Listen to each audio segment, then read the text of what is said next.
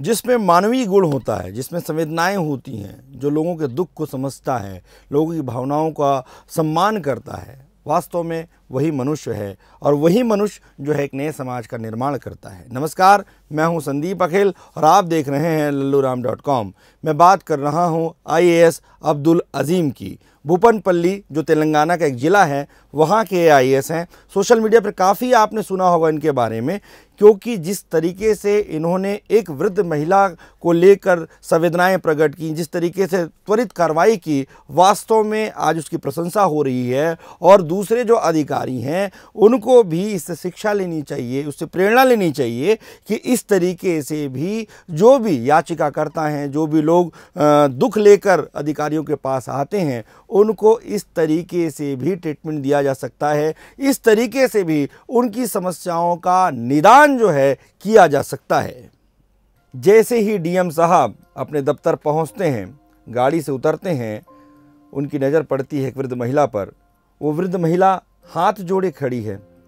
अक्सर ये देखा जाता है कि अधिकारियों से निवेदन किया जाता है। उसके बाद कई बार जो है, कई अधिकारी ऐसे होते हैं जो उसे अनसुना कर देते हैं क्योंकि उनके पास काम बहुत होता है, व्यस्तता बहुत होती है। ऐसी अपेक्षा आप कर रहे होंगे, लेकिन ऐसा नहीं होता है। जो डीएम साहब हैं, अब्दुल अजीम वो रुक जाते हैं और पूछते हैं, क्या कोई अपडेट है? कोई खबर है? ये सब मैं जो बातें बता रहा हूँ, कपिल देव जी के आलेख से आपको बता रहा हूँ। इतनी सादगी, इतनी सरलता, इतनी सहजता कि कलेक्टर साहब बैठ जाते हैं सीढ़ियों पर।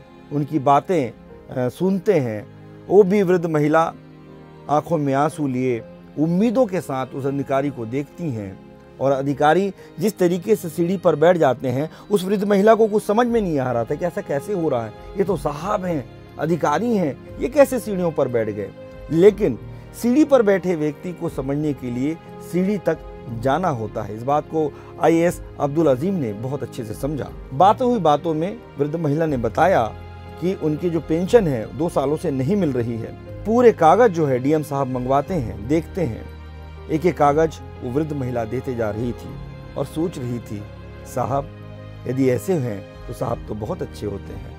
क्योंकि उसके मन में जो कल्पना थी साहब को लेकर, क्योंकि कई दरवाजे गई, कई बार जो है, उम्मीदों के साथ हो गई, लेकिन उस तरीके की सफलता उनको नहीं मिल पाई, या उस तरीके का सम्मान, या उस तरीके का आदर उनको नहीं मिल पाया था। पहली बार कोई अधिकारी इस तरीके से उनकी बातों को समझने का प्रयास कर रहा था, वो वृद्ध महिला के लिए भी एक अनोखा था। धीरे धीरे वो वृद्ध महिला अपनी शिकायतों को जो है साहब से कहती हैं, कुछ अधिकारियों की शिकायतें, कुछ बाबुओं की शिकायतें, जो अक्सर सरकारी दफ्तरों में दो चार हमको होना पड़ता है। उसके बाद डीएम साहब कहते हैं, आपके कागज़ तो पूरे हैं, आपका काम ज़रूर हो जाएगा, मैं आपको वचन देता हूँ, आपका काम आज ही हो जाएगा, आज के समय में कौन ऐसा कहता है? और जब आप सरकारी दफ्तर जाते हैं तो लोग कहते हैं, दिखवाते हैं, फ़ाइल मंगवाते हैं बात करनी पड़ेगी, नियमों के तहत है कि नहीं, ये सब शब्द आते हैं। और उन शब्दों में वो फ़ाइल वो बातें उलझ जाती हैं। लेकिन यहाँ उलझने वाली कोई बात नहीं थी। यहाँ उलझने वाली कोई बात नहीं थी, क्योंकि साहब ने कह दिया था कि आपका काम हो जाएगा। मजिस्ट्रेट साहब ने संबंधित अफसर को तुरंत हाजिर होने का फरमान सुनाया। उसके बाद अधिकारी आते हैं, साहब समझाते हैं और उसके बाद वो अधिकारी को बुलाते हैं और उनसे पूछते हैं कागज़ उनको देते हैं और कहते हैं कि ये आज हो जाना चाहिए। अधिकारी ने कह दिया तो काम तो हो ही जाएगा और काम हो भी जाता है। और उसके बाद तत्काल प्रभाव से पेंशन उस वृद्ध महिला का लागू कर दिया जाता है। ऐसे डीएम हैं अब्दुल अजीम। वास्तव में अधिकारियों में यदि ये सहजता आ जाए, सरलता आ जाए तो सरकारी दफ्तरों में जो जाने से जो भय लगता है, जो डर लगता है, वो खत्म हो जाएगा और सीधा संवाद आम व्यक्ति का अधिकारियों से होने लग जाएगा। अगर आपको हमारा वीडियो अच्छा लगा तो फेसबुक पेज पर लाइक करें और यूट्यूब पर सब्सक्राइब करें।